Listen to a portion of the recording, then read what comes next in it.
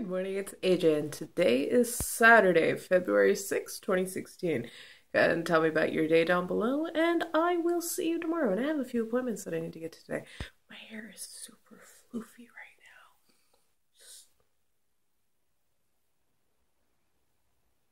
It's also really soft. You know how I said yesterday was a waste of time? Today is a waste of time as well. Uh, basically, all of these are a waste of time, and I'm surprised so many of you watch them. Thank you.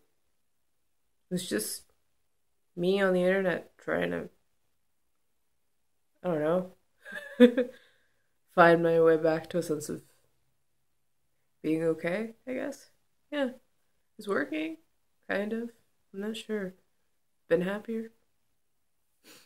I need to write and uh, there's some stuff up on my boards that I need to do. That one's empty, but these boards are all kind of.